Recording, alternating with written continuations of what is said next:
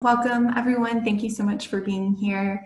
Um, I'm just really glad to have all of you joining us today um, as members of our organization and uh, Marta and Sean as others who can add and support um, the work that our members are doing as we reopen here in Michigan.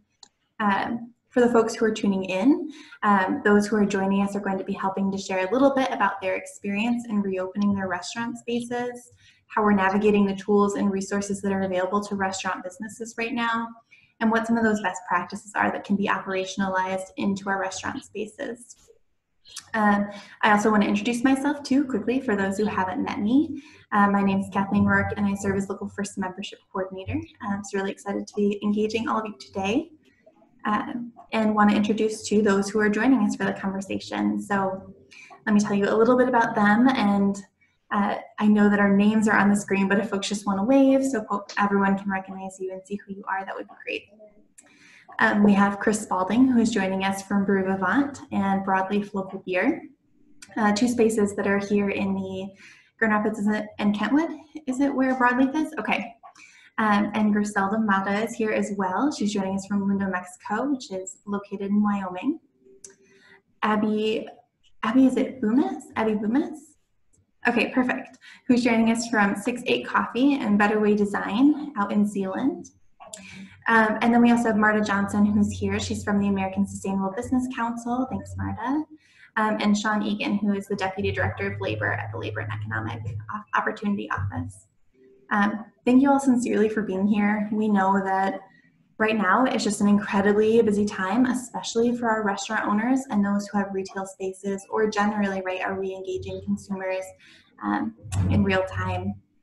We know that it's busy and folks are navigating so much. So we especially appreciate the time that you're spending with us today um, and hope that this is a really helpful experience for others who are navigating similar barriers and opportunities as the state reopens.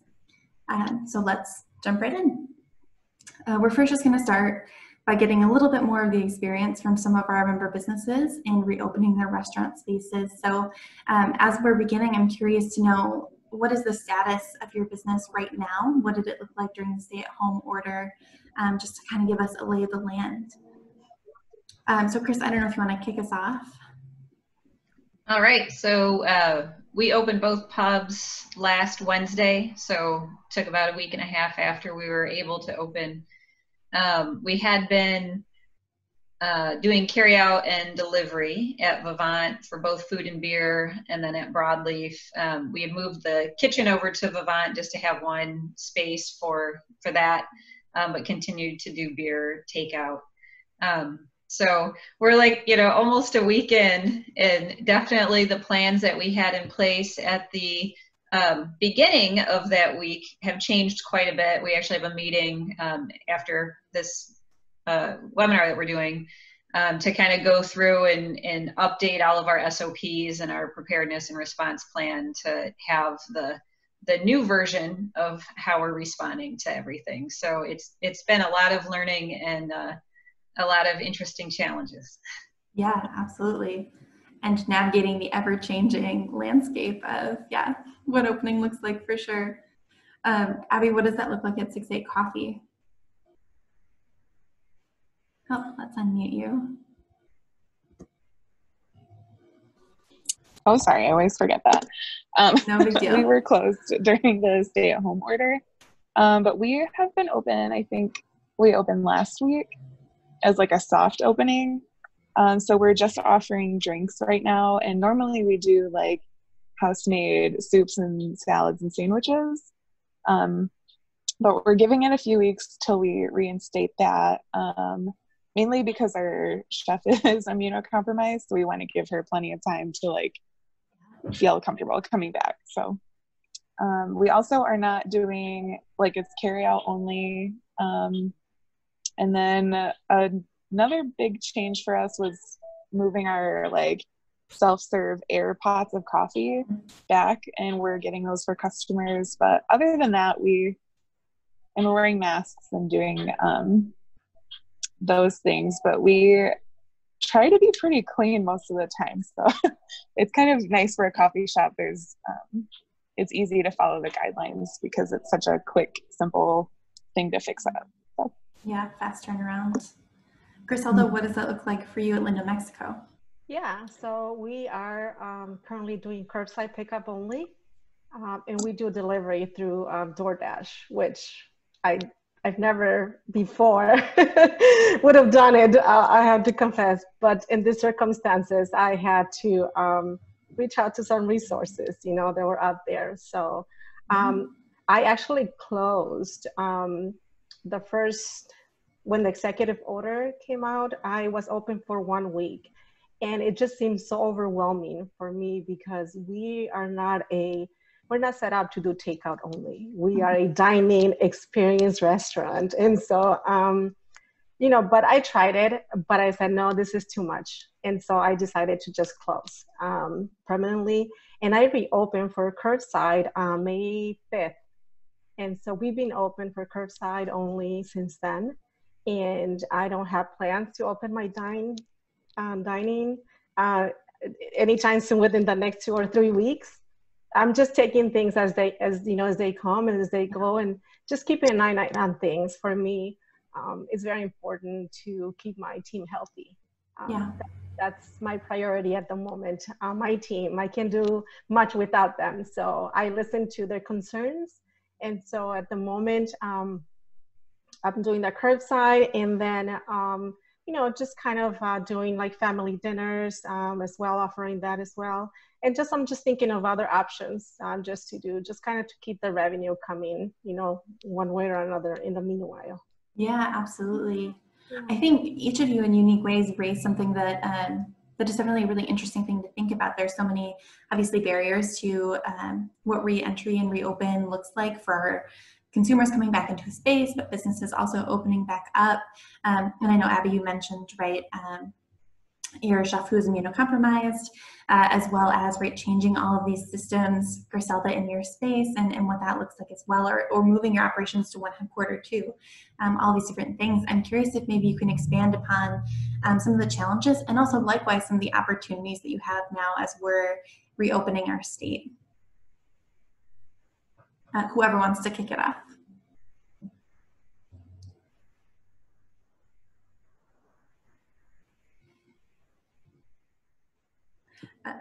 All right, I, I can kick it off. Um, so staff comfort, I think, is the biggest challenge, not for all staff members, but for a lot of them. Uh, we had considered actually doing what Griselda did and, and not being open during the shutdown, um, but we had enough of our management team that wanted to keep going. So we were able to get that all in place, and and that was interesting for them. You know, they're all in leadership positions, and and now they're doing everything um, and everything differently than we had before. So that put its own stresses on the team, just trying to figure that all out with a, a small group of people. And then as we get got cl- closer to reopen, um, you know, at each pub is a very different physical environment and different staff and all of that. So what the best solution for each one was different. Um, you know, at Vivant, we're known for our chapel space that is our dining room, um, which we decided not to open at this time.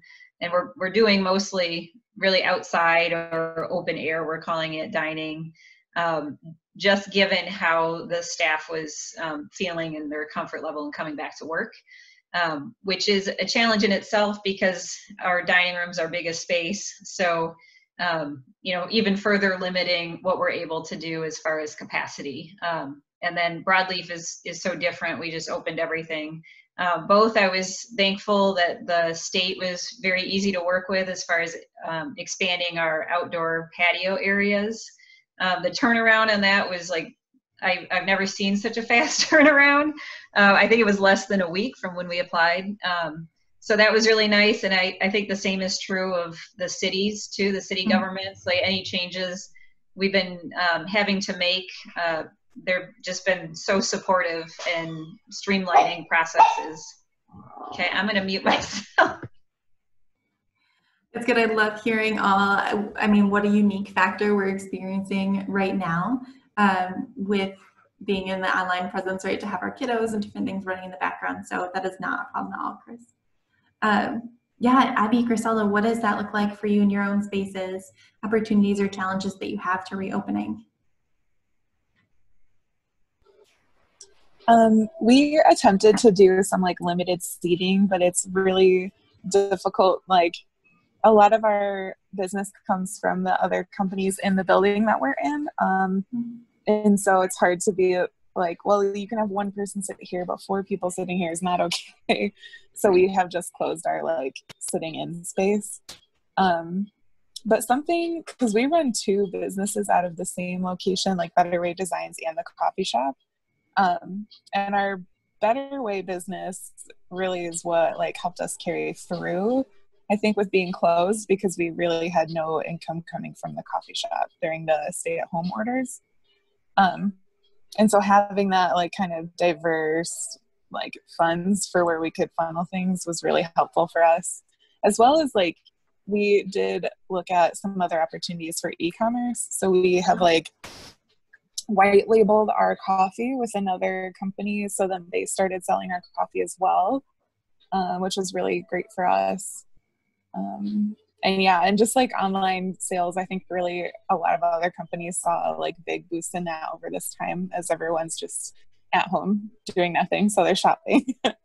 Um, but yeah so those were kind of some different things that we had to like pivot towards mm-hmm. especially yeah we do like home parties to sell coffee as well and like our other products like jewelry.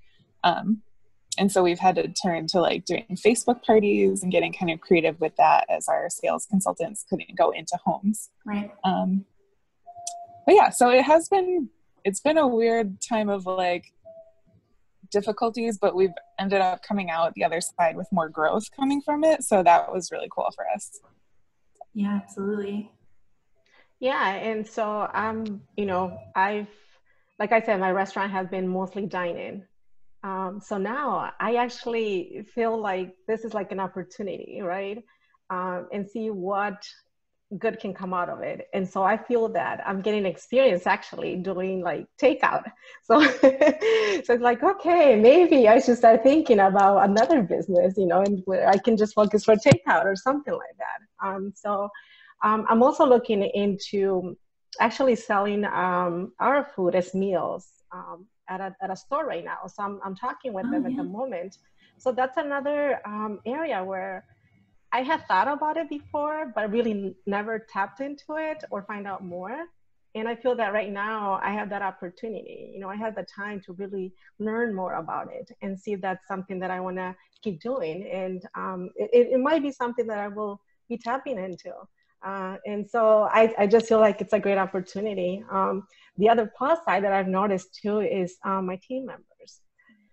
You know, when when you're in such a rush all the time, you know, the restaurant industry tends to be like that at times, where you're just like running around all the time, and you really have to take the time and observe your your staff. Well, right now, it's some of them have stepped up to that level of leadership that it amazes me. Doesn't surprise me. I think they had it there all along. They just had never been in the position to really bring that out. And so right now, I feel very blessed because I can be at home right now doing this, and I have my team running the restaurant.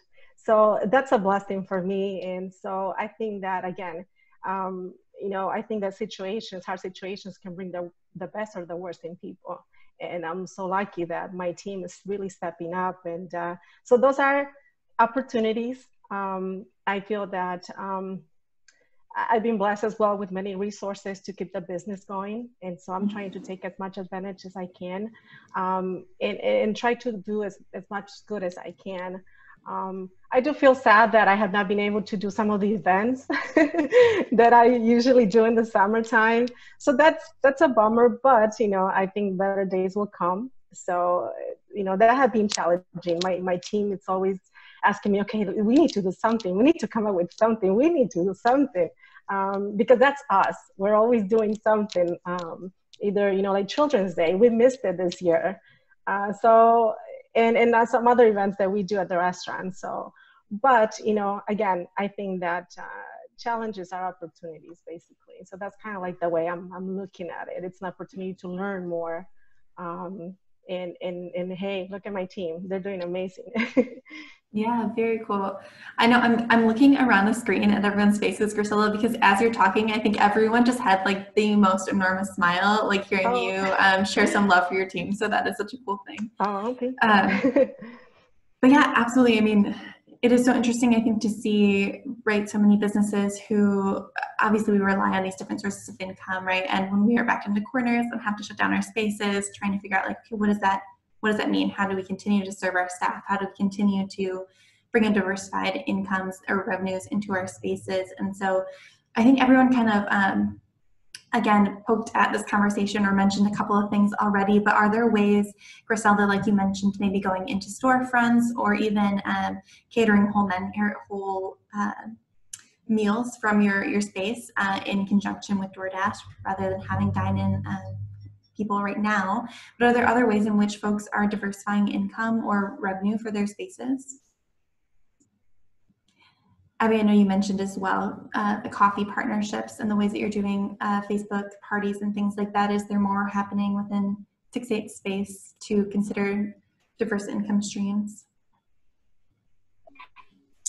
Yeah, um, we have been looking into i think once our chef comes back we're looking into getting into the like food delivery um, it's kind of hard with like such a low priced item for us like the delivery fees tend to like outweigh the usage of it mm-hmm. um, but yeah so our like changing to to go i think just getting that word out there is going to be a bigger one for us um, yeah and Kris, too, I'm curious. I know with Vivant and Broadleaf, there are two very different concepts that you have approached, and what does it look like then to consider uh, diversified revenues or income streams for those two different concepts that you have? Um, how has that been approached? Yeah, I think like the main type of pivot we did was um, delivery. We didn't actually like the the conversation within our industry about delivering beer and whether that was actually legal. Um, we were all very confused. So one good thing that came out of this was um, a lot of clarity from the MLCC and then um, some of the attorneys that a lot of us use. So being able to deliver beer was um, that was awesome. Um, it's something that you know we're not doing a ton of. I think we're actually going to phase out delivery now that we're open. We're seeing it has a lot less of a pull. Um, but we might do some strategic delivery when we have you know a new brand come out um, and now we know exactly what we need to do in order to do that legally um, the other thing uh, i wish we had as an industry was the ability to to ship beer outside of our state and currently we don't so and i've advocated for our um, our brewers guild to look into that as we did have a lot of people from out of state that wanted to support our brand. Um, we only distribute within Michigan, so there was really no way for them to do that. Um, but gosh, it'd sure be great if we could ship beer to them, which you know is would be expensive. But anyway, um, just another thing to look at. And then, yeah. you know, my husband and I, um, obviously, in times of crisis, you have a lot of conversations you weren't planning on having, right? And um, you do open your mind up to a lot of possibilities.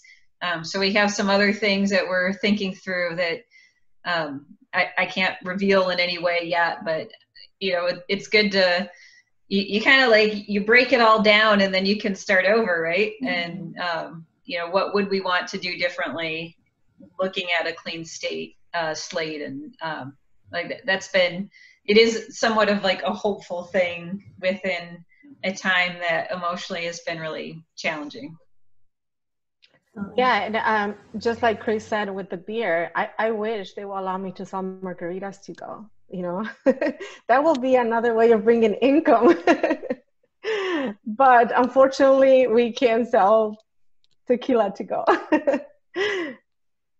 Absolutely. I mean, as a consumer, I think both of those things would be phenomenal. um, and then I think the other thing I'm really curious to hear hear more about from each of your spaces that again has been touched on to a certain degree, but um, is really the health of both the staff that you have and the consumers coming into your space. I think this is a big conversation as we're navigating what reopening looks like to have those two groups of people safely coming together over a meal, right?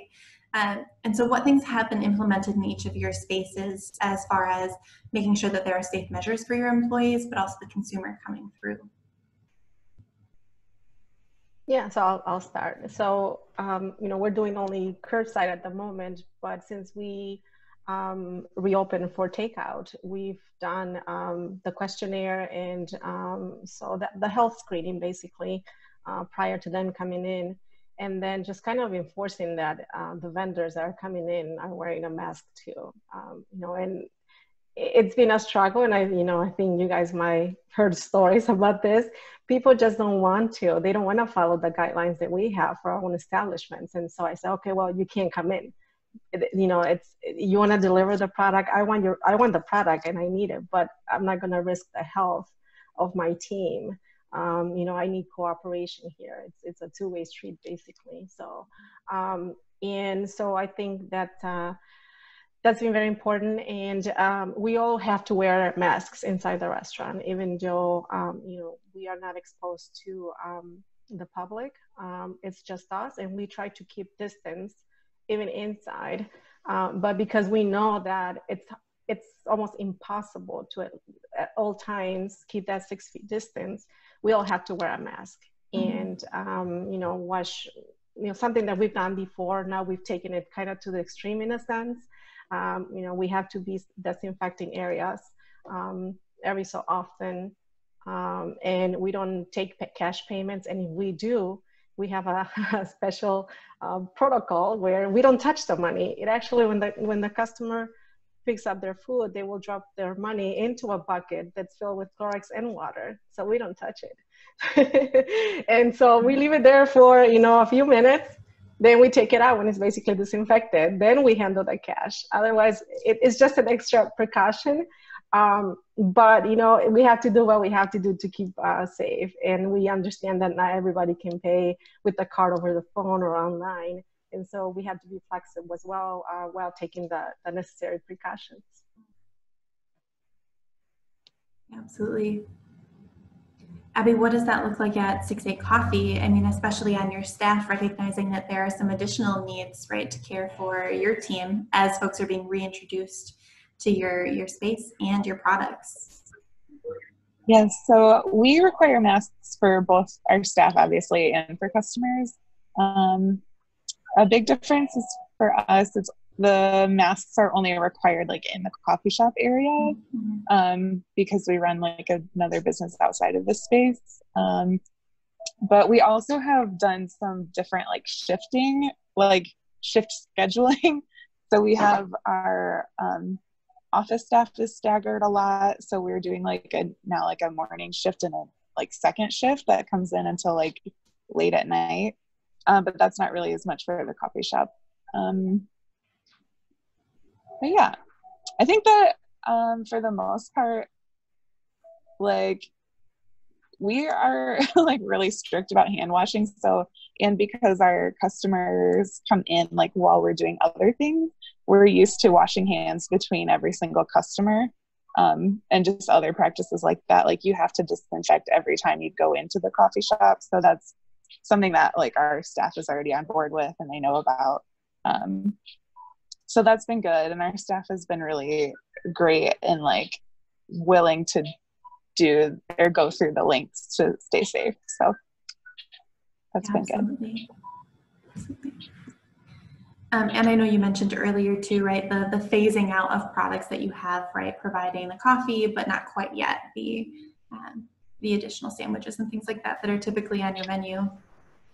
Yeah, so that's um, the preparation for that, yeah, has been a big shift for us. But it kind of feels like we're going back to how we used to run. because um, the coffee shop itself has been around for a long time, and just in the last year, we put in all these like we had a new menu and new um, food and products, um, and so we're kind of going back to how we started, which was like just like kind of slow and steady with just the drinks and figuring it out. So it feels a little nostalgic for us, but um, it's been yeah. good. Back to the basics. Mm-hmm. Yeah. And Kris, what about for your team? Yeah, a lot of the things that have been mentioned already and um, things that we're required to do. Social distancing of, uh, the team and all of that. I think a few things.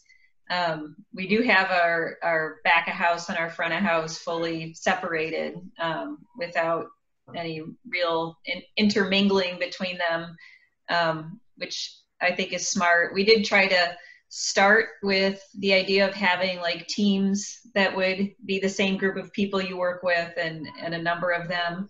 Um, but that proved to be a challenge with um, the amount of shifts we had and the amount of shifts people wanted to work for various reasons. So um, we kind of had to do away with some of that, which was unfortunate, but so be it. We gave it a try. Um, I think the like the biggest thing on the customer side outside of you know having to wear a mask is that we opted to not open either bar. Um, mm-hmm. So there's no bar seating. It, like it's just hard. It's hard to socially distance. You know when you only have so many stools um, from the next party, um, but also you're so close to that bartender. Mm-hmm. Um, and the idea of buying, inv- investing, I should say, in so much plexiglass to create a proper barrier uh, was more than we were willing to do right at open. Um, so we just opted to not offer bar seating. Um, and like Griselda mentioned, right, like restaurants like ours are so experience driven that it's all, it's like goes so against our natural instincts. of wanting to engage and have conversations and create this um, relationship with our guests. But you know we can still do that in in ways if we're creative. And i i think we're our staff are finding um, their comfort zone with things like that. But then there's things that you know they need to um, educate guests on too right? Like if you picture one of our conversations right now we have these big tables um, that are long which are great if you're with a group of six or eight people but by no means does the busser want to have to reach in front of every single person to get their dishes, right? So we have to help customers like if, if you could move them along to the edge of the table and we can gather them at once, um, which again feels weird on an experience side because here's these dishes going and sitting at the end of the table for a minute, right? Like it's trying to navigate how do we stay with the core of um, what we've always stood for in that guest relation experience um, while also trying to be as safe as we can for our staff and our guests and, and where is that boundary? Um, but that's the stuff that we're learning more each day as uh, we encounter different people. Yeah absolutely. Right it's going to take some time to right for that engagement to happen before you realize right, how all of this is going to play out as well.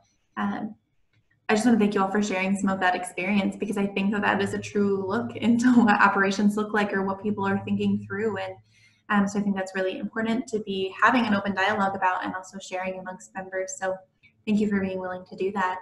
Um, I just want to shift the conversation a little bit and turn it over to Marta, um, who's going to help us think through uh, what's happening right now in partnership with the state, what's available to folks, and how we uh, navigate the relief packages, safe opening, things like that. So, Marta, if you want to take it away. Yeah, so um, in looking at the resources available for restaurants, I think one of the most important so far has been the um, payday production um, new funds from from the government. There have been a lot of issues that people have had with it, but it's provided the most direct relief. Um, so far, there are current negotiations at the federal level happening on another package of relief for um, especially small businesses.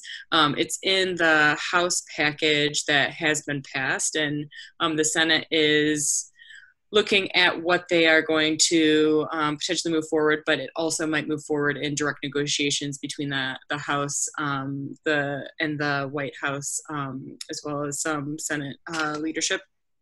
So that is under negotiations, and we're we're working at ASBC to continue to um, call for um, more relief funds as we are navigating um, reopening. There are a lot of challenges that we're seeing small businesses that have been outlined already here, but also um, you know, as we look at potential uh, additional waves of this um, and, and what that would uh, do to how businesses operate, um, it's important to ha- be ahead of that rather than constantly playing catch up because um, what we're, we're noticing with the economists that we're, we're working with at least is um, when, when we delay action on relief, it um, further stresses our economy and is going to um, lead to additional problems beyond our um, mm-hmm. existing um, health and economic challenges. So we're looking to reduce those economic challenges um, and smooth those out as much as possible. Another important component of the next federal relief that might not seem like it's directly related to small businesses, but we see an important um, relationship to um, businesses is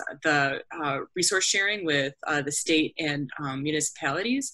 Um, in the House proposed package, I believe it's a in the trillions of dollars um, that they're looking to share with states and um, cities because of the shortfalls that they're having right now. I think Michigan is at is it 300 million or something. Um, or or more right now in terms of a, a, gap in the the budget and so being able to fill those gaps at the federal level will give some relief um, to really important issues like education right now um, I think it's about a $700 per student cut that potentially is facing our schools in Michigan.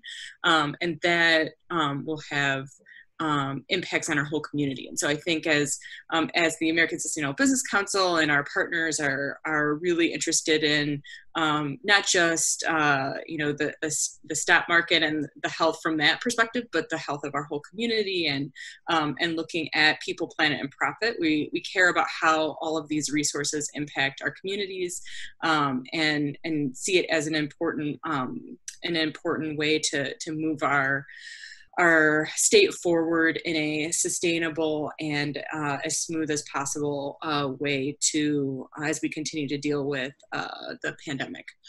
So that is something to, to be aware of that there is more relief um, under consideration, both directly for businesses as well as for, for states and cities. There's also a component for families, which I think is important, both from an employee perspective, but also from a customer perspective um, to, to, to, be aware of. Um, at the state level, um, there are some proposals that I'll get into, but I just wanted to highlight one of the existing resources under an earlier executive order from Governor um, Whitmer that uh, expanded the Workshare program. So, why the Workshare program is so important right now, especially for restaurants, is as you are having um, different capacity for um, you know, for partially opening or not uh, partially opening maybe outdoor space like uh, Brewery Vivant's and not having indoor space, or you know, changing your model, there might be a different level of um, support you need for our keeping operations. And so, being able to keep people on and make them whole, even if you don't need quite as many hours, the Workshare program is an elegant solution for that, in which you can, um, you know, help retain and and support employees um, in a way that doesn't um, impact your bottom line uh, in a way that your revenues aren't able to support currently as you're transitioning. And so um, the Workshare program is, uh, is one that if you haven't already looked into it, um, I highly recommend, and I can throw a link right now in the chat, which I think even the recording should be able to get um, for people to look into. Um, and then, ooh, just a second two up. There we go. Oops, there. Um, and what was great about what expanded that is it just allowed more flexibility and more types of businesses to access this um, uh, this tool, especially during um, these unusual times.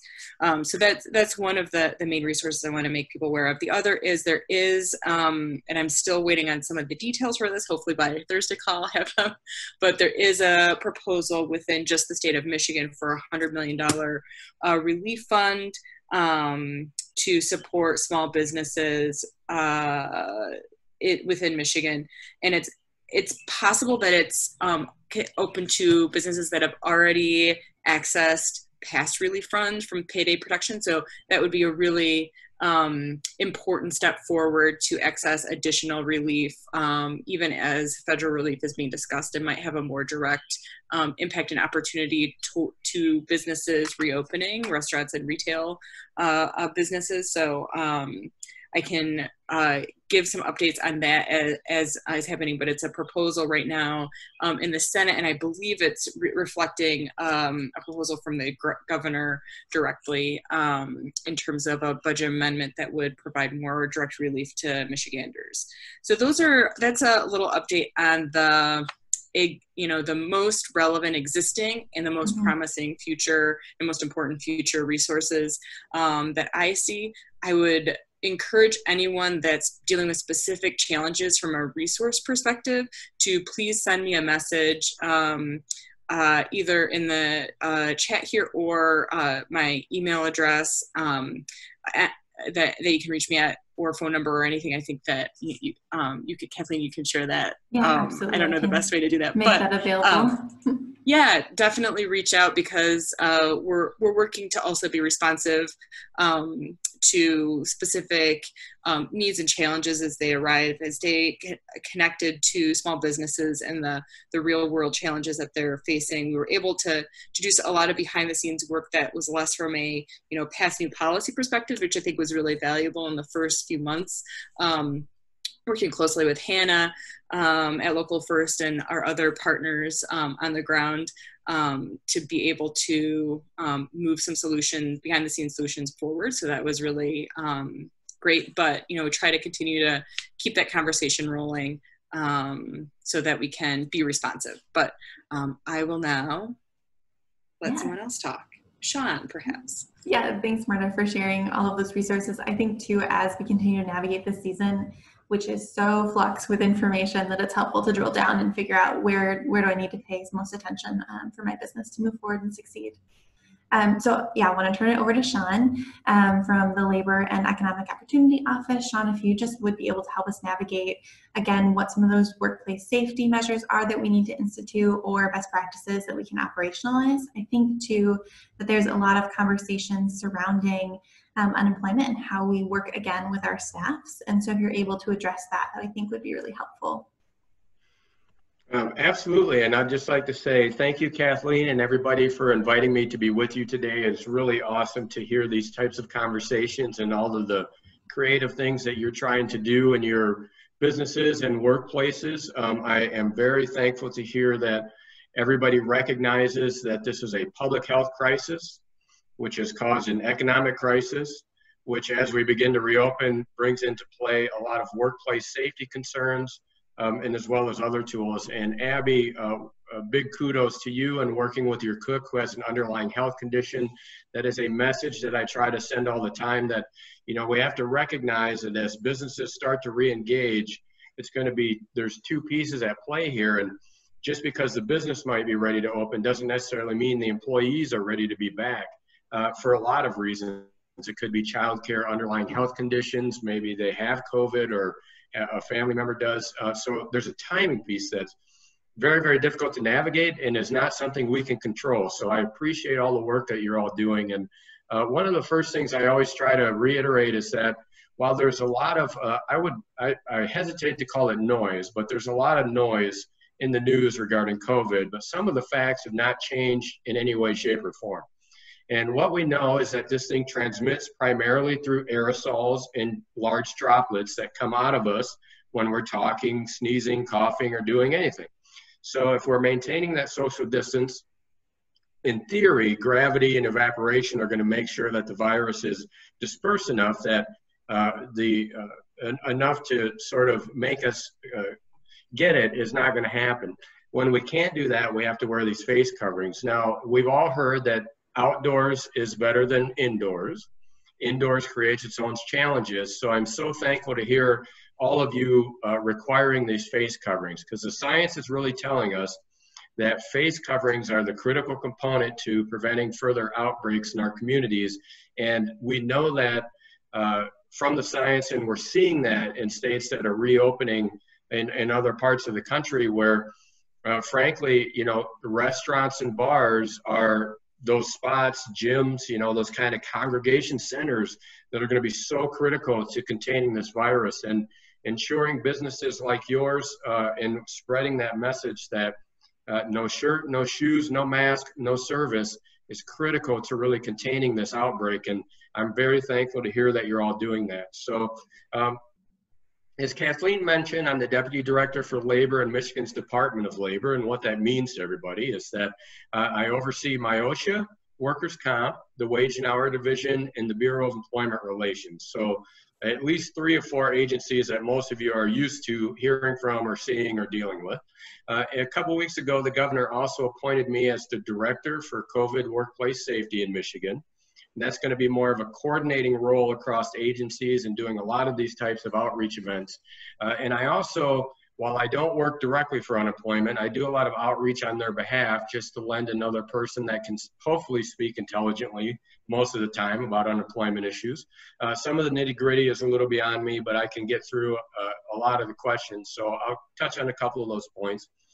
One of the things we've been doing from the beginning of this outbreak, and I'm going to start with this because every business group that I talk to asks me this question, how is this going to be enforced?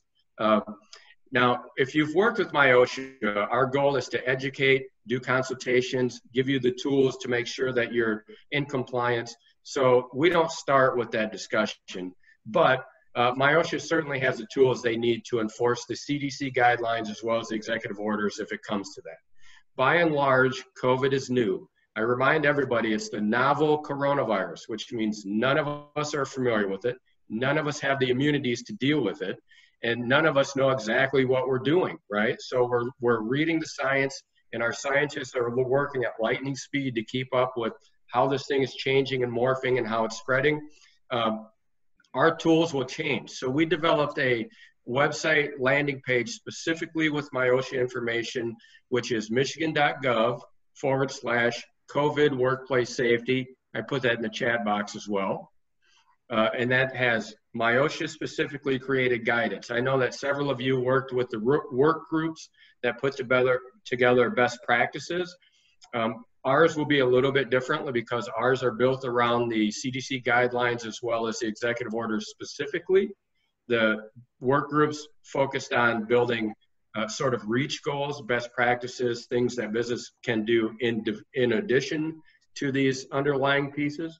So both are great tools, but uh, uh, we have one for every industry that's been named in a an executive order, which certainly includes restaurants and bars. Um, we also have general industry guidelines. We have some videos there. We have links to the MI Symptoms app from the Department of Health and Human Services, which is a great tool to help you cover that health screening process. And as long as uh, the way that works is as an employer, you're to you set up an employer account and you'll get a number that your employees will then set up their own account and link to that number. So the information comes back to the employer. And as long as uh, they fill out that app, it'll show on their phone you know, green, I'm good. Orange, I, you know, I answered a question and, and it's possible I might have been exposed or I have symptoms. As long as they show that to you before they come into work, that should meet the requirements of the health screening. Uh, we're still working through a couple of pieces, so we'll have a better update, but it's a great tool. I encourage everybody to use it. It'll make it a lot simpler. Uh, you can set it up to notify whomever. You'll get a report on who filled it out, and it'll also do part of the if somebody is a positive COVID, it'll send a notice to the public health department too. So you'll kind of have those two pieces covered. Um, so those tools are there. We have a link to the Michigan Economic oh, no. Development Corp that's been used to help identify uh, PPE or barriers or hand sanitizer or other products. It's all made in Michigan, which I love. Uh, and there's a lot of capacity there. I checked in with them right after I got the additional title, and uh, they they're very confident that the manufacturers they're working with have the capacity to meet the needs of industries across the state of Michigan. So definitely check in there. There's a nice link there. Um, and we do have some posters and other things. We're continuing to create new things, and I would encourage you to check back often because as executive orders change or as we learn new things, that's really where we're putting our updates. uh, and it's a great tool to use. Restaurants and bars in particular create some extra uh, challenges. And I was very happy to hear, Kris, that you closed the bars. I know that is not easy. I would, I would love to, uh, to see everybody open at full capacity. The 50% requirement has nothing to do with trying to kill restaurants. I can assure you that.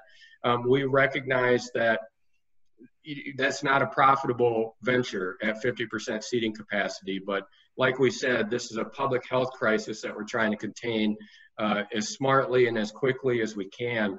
And uh, those are challenges that we have to meet. Um, the customers and the facial coverings were covered in Executive Order 115, which requires anybody that leaves their house and goes into a public space, which includes bars, restaurants, gyms, and everybody else, that they're required to wear a face covering as long as they're medically able. And then a corresponding component, which you are all can are using, is that uh, a, a, business may dis, may deny service to those refusing to wear the face covering. I, you know, just a reminder, and I know you're all thinking about it. Some folks are medically unable to wear those face coverings. You're going to have employees that are medically unable to wear those face coverings. So you'll need to navigate through that the best that you can. Uh, my the way I always say this is that we can manage the folks that are medically unable to wear a face mask. We cannot manage all of the public saying they're not going to do it. So I really, again, appreciate you guys taking that stance because it's critical. Uh, so those are some good tools from uh, both MIOSHA as well as the Department of Labor. If you go to the Department of Labor's homepage, we do have postings for those other industry guidelines.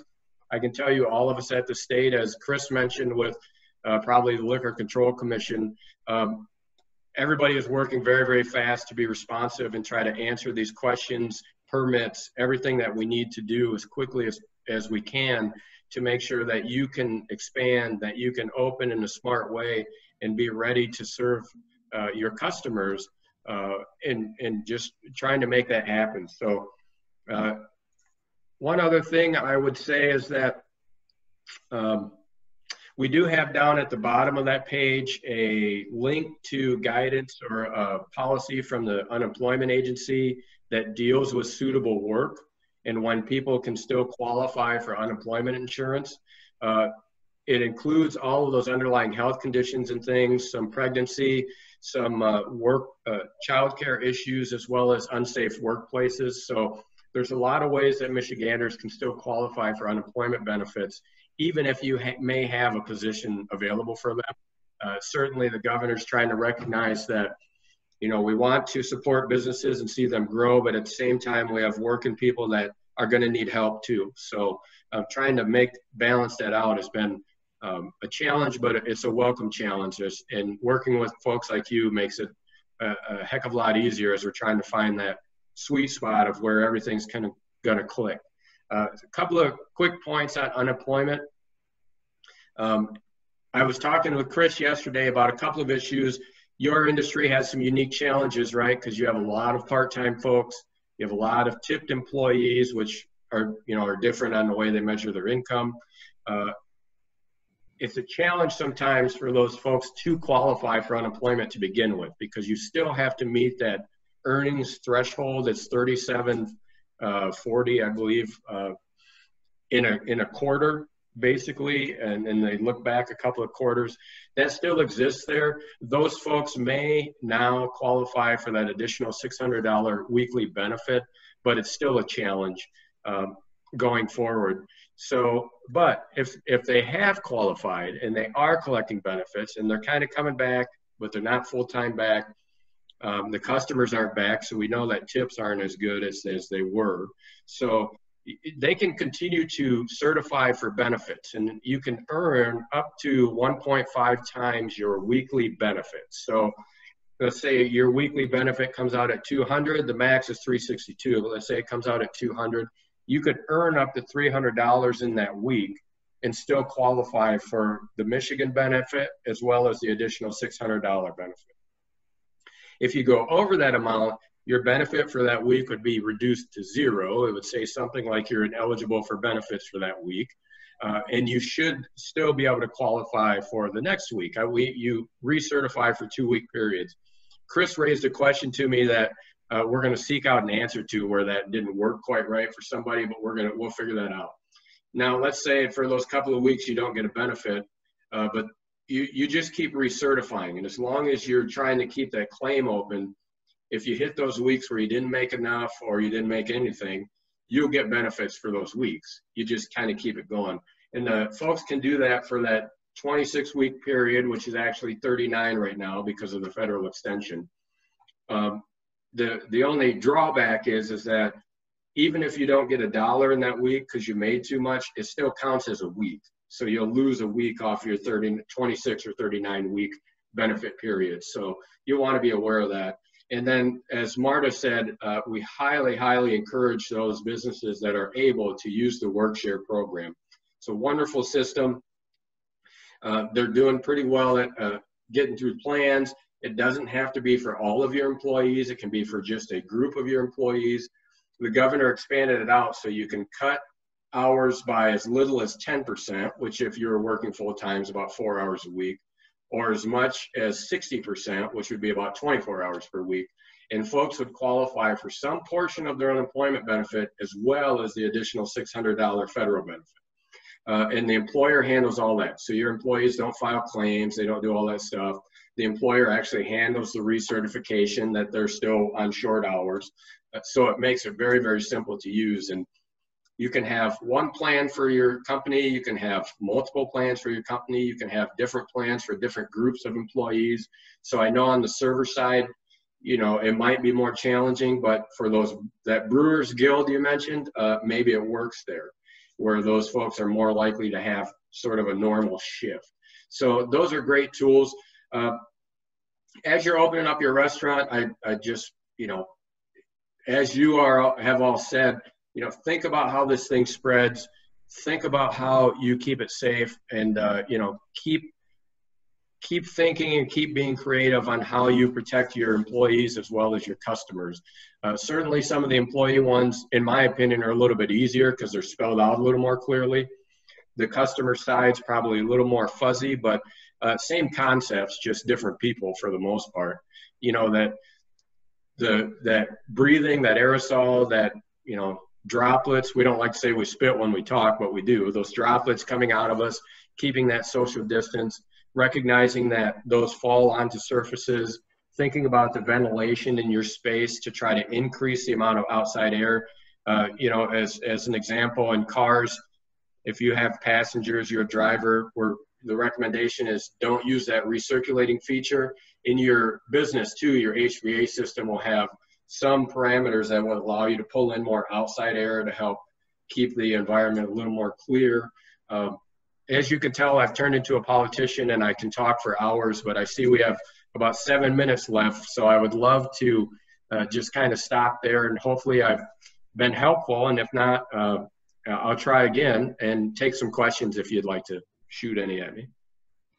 Yeah, absolutely. Thanks, Sean. And if it's okay, I, I uh, can provide the contact information as well, like it will be for Marta, um, for folks who are watching this later and have questions.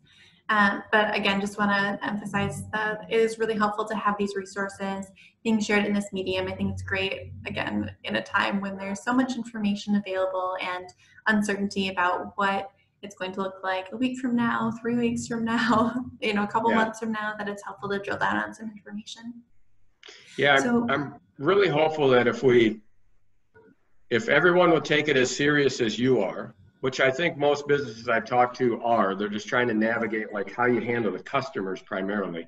Um, that we don't look like those other states, right? We know the governor has shown that she will protect Michigan families, and we appreciate her for that. Uh, and that scale slides both ways, right? So as we move forward, if we start to see these outbreaks, you know, there's no question that uh, we're going to put ourselves in a precarious position to make sure we can stay open. And I want to stay open. I don't want to, we don't want to do this over and over again. We want to do it one time. We want to do it right. Yeah, absolutely. I think it's really important as we're um, navigating the situation on top of other situations that are happening in our communities and across the nation that we just really need to be having open dialogue and conversation about how folks are navigating this, what experiences people are having. And I think, Priscilla, as you mentioned, right, how we take those challenges and morph them into opportunities or think of them as opportunities rather than challenges first. Um, so I'm really grateful for uh, that experience